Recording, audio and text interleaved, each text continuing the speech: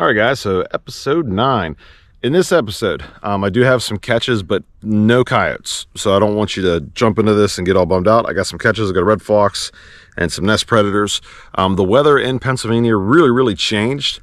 Um, we had some really good snow. It got really cold. Everything was looking good. And then it just got warm and the canines have not been moving for me as of late. So I just started catching some other things. I'll show you all about that. And I did have some crazy, crazy misses. I had like one day where I missed like six or seven coyotes in the same day, and I was really bummed out when we had all that snow. So let's get into it. This will be episode nine. Thank you so much for watching. Uh, let's get going. All right, guys, I got a unique situation going on here. I just pulled up to my cable restraints that are down this hill, and I saw a red fox um, completely free, just walking around. So, right, this is where the hot set's been, and then right below it, I got I got, um, oh boy, how many cable restraints I got down there? Seven. I have seven, and I just seen the fox come out in the open, and he went back in. So I'm gonna wait like five minutes, and then I'm gonna fly my drone down there just to see if I have any catches, and maybe if I can catch that red fox. So that's pretty cool. Pretty cool to see. It's like he didn't notice that I had just pulled up in my truck. So I'm gonna fly my drone down there and see what's going on. Oh, there he is again. I don't know if you can see him. Yeah, he just took off. He's out in the open running around. He's looking up the hill at me.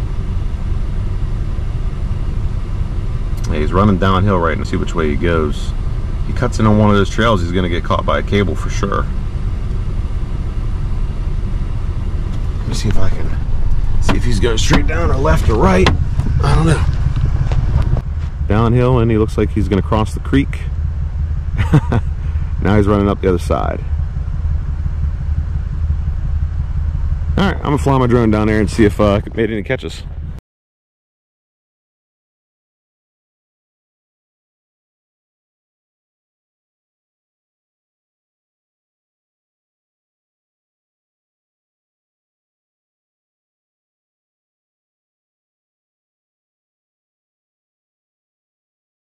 So I know I got a red fox down here. Um, I don't think I got one, but we're gonna fix up the cables and stuff as we head down to it. It's right there. I can see its tail flipping around. So yeah, it came through this trail. This one caught a deer.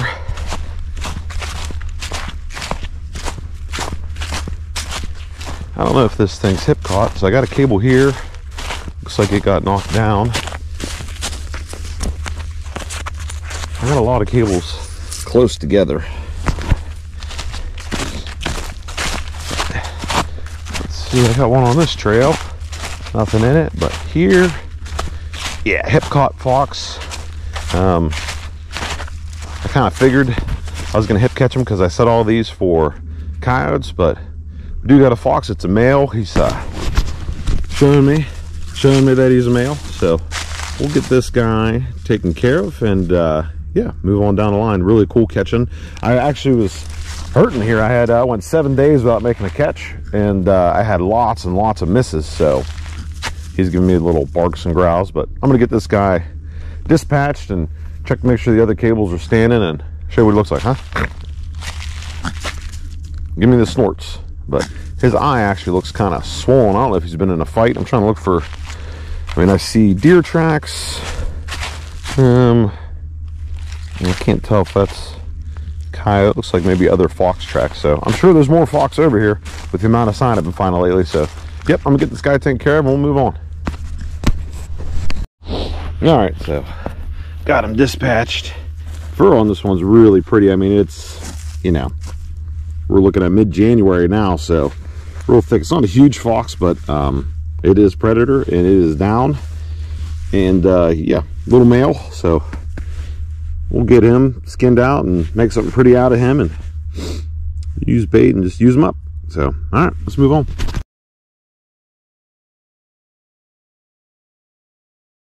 As we're down into single digits, this is the kind of weather that makes coyotes move. Let me show you something. This happens to me every year. Because of the snow, it changes how your cables look. You might blend them really good when there's no snow on the ground, but when it snows, things start changing. So, we had one critter come down this trail. That was a coyote. So let's follow that track. Let's see what he did.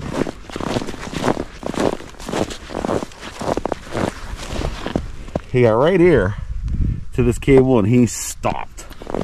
I don't know if he smelled it or saw it. Sticks out like a sore thumb now, but he stopped right there. All right, guys, here's one of the fields I'm cable restraining. And I want to show you some of these bobcat tracks that came through last night. So, got bobcats here. I have a cable down over here. The cable that I set up is like the cleanest trail going down into those woods. And a bobcat took that trail, and I thought for sure I had it caught, but a deer knocked down the cable before the bobcat got there. Actually, that's a good thing because I didn't want to deal with that. But I had another bobcat go over here to the right, kind of following this wood line through the field, which I had another cable set up because I know predators like to do that. And that one jumped over the cable. So last night, I had two opportunities at bobcats. It looks like two different cats. So this field's really good for lots of predators. I got bobcat tracks here.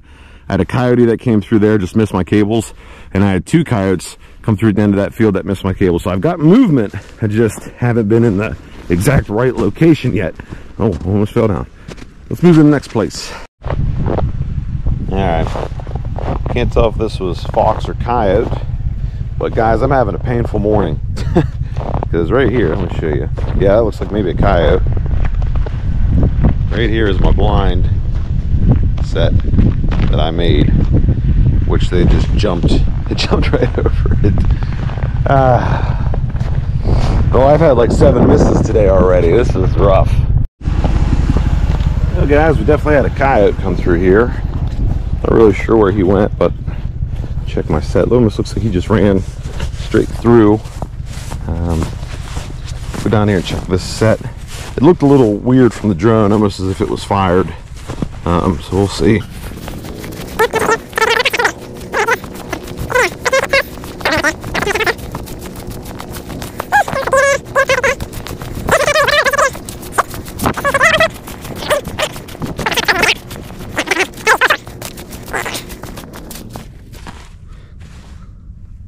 Well, looks like, let me see.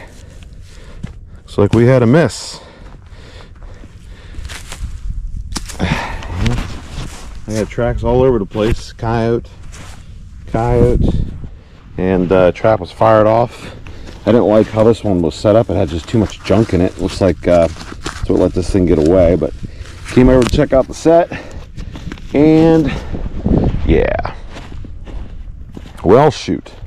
I'll get this um, reset. So that's miss last two days. I think this is my eighth or ninth miss. I mean, it's been it's been a lot. So we'll get this bad boy reset and see what we can do. Just a PSA, public service announcement. That's a yes. I didn't make the coyote catch. It missed them, but um, that is a possum remake. So if you're catching possums and you're all disappointed like ah possum got in there and messed up a good coyote set in my opinion he just made it better um, possums I, have had really good success on possum remakes so just remake them you never know what's gonna happen. Um, I say remake any set. Like that set right there well, some people would yank that. Missed them never gonna catch them there's plenty of coyotes around here. Maybe that coyote isn't gonna put his foot right there but there's no catch circle. It don't even look like I nabbed him for any length of time. So I wouldn't be surprised if that same coyote, next time he swings around, goes to check out that smelly hole again. So let's move on. Well, guys, almost every year, at least once, I catch a deer. This deer really got it around its neck, so I want to try to tire this deer out a little bit so it'll lay down so I can get in there and clip clip that cable. So see what I can do. All right.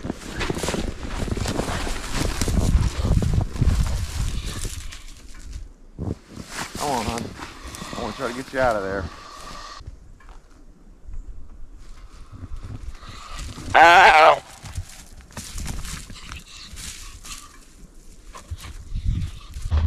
Oh, y'all got warm. You know what that means when it gets warm. Oh, Okay. This trap got all dug up. I don't know if the rain exposed it and then it got dug up. I mean, I got a raccoon over there, so I imagine who's guilty. But um, yeah. So decent looking raccoon. Hiding from me. Pretty big one. Check this cable restraint over here. That got knocked down, probably by deer. I just scared a bunch of deer. Just scared a bunch of deer. They ran past this raccoon, so got warm for a night, and you know what that means. It gets warm. These these nest predators start moving. Fur looks good on this raccoon. It's not a don't look like a real large raccoon, but it does look like it's got some pretty fur on it. So we'll get this guy or gal taken care of. What's funny is this set has caught um, two red fox and a bobcat. It's I mean it's pretty much been a flat set the whole time. Just a rock, two little holes underneath of it. That's kind of all I did there. And it just keeps catching. So I went and put this set in beside it uh, just to, you know, give myself another opportunity for a catch. And they got it all mixed up. There was bait and lure and all sorts of good stuff down here. Somehow he didn't get caught there, but he got caught over there. So, like I said, we'll get it handled and go check these cables and move on. Another raccoon. Tell you what, this trap is on fire. I can't get it to quit. Got these cable restraints down there. Ain't catching diddly. And then I've got this set right over here with bait that I thought for sure these critters would want. Nope. It's this. It's this set over and over and over again. I don't even have um, lure. I haven't been putting anything here. I just reset the trap in the muck, in the mud. I mean, I blend it in. I take grass and stuff and put it in there. I got a cable restraint over here trying to catch animals coming through, but that's not it. Now, this is not a real big raccoon, but we ain't letting it go. So we'll get this guy taken care of. And uh, yeah, so that's two coons in the last week out of this thing. This thing's caught two red fox, a bobcat, um, a possum. I mean, it's caught all sorts of things. So this remake your sets, you know, muddy, mucky. I don't know. I don't know if it's ever going to catch a coyote or a canine again, but I'm hoping these cables will. So yeah, we'll get this guy taken care of and move on. Well, guys, I'm standing in a catch circle from a cable restraint. I haven't really looked too hard yet. I think. Okay. I think it was a deer. So, okay. We had a cable work the way a cable was supposed to work. Yep. Looks like deer air. The breakaway broke. the deer got away. This is what you want. this is what you want. I've had too many times where my breakaways do not break and I have to deal with the deer. But, okay. So, I'm not too upset about that. everything worked the way it was supposed to work. Um, been having a bad go of things lately, but we still got a good bit of cables to check, so let's get moving. Not sure how long this has been like this. Let me see. Yeah, it's. Looks like it might have been coyote, maybe a bobcat even. I don't know. All right, we picked up a coon. My trap line is pretty much shut down um, for canines. Canines have not really been moving for me. It's been way too warm, too muddy. We got a real, real cool looking dark colored raccoon. We caught him in this trail set. Now I had this set up as a flat set. This trap has been here for pretty much since the beginning of season. I set that trap up. And then I went over here and set a blind set.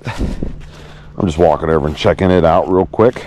Okay, so I got a flipped trap here Hmm. This had no lure bait on it, so I don't know. I'll get that fixed. I'll get that fixed. I plan on pulling these traps here within the next two days. So I'm just going to fix these two up. This one I'm not going to remake. I'm just going to pull the trap and uh, we'll see. See if we make another catch. But we'll get this coon taken care of. Um, we're not letting any of these nest predators go. And we'll move on down the line. So uh, yeah, I don't know how many raccoons this make. This looks like a decent sized raccoon actually um, yeah. So we are making catches. It just hasn't been canines lately. Hopefully they start moving because I've got, oh boy, like 65 cables out. It would be awesome if the canines would start moving, but they just haven't been lately. So, yep, we'll get this guy taken care of. Big fat coon.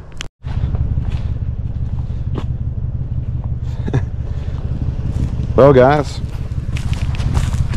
here's a major bummer. I mean, I got coyote tracks everywhere, but this trap got dug up and then froze down. Let me see if it'll even go off. Trap won't even fire.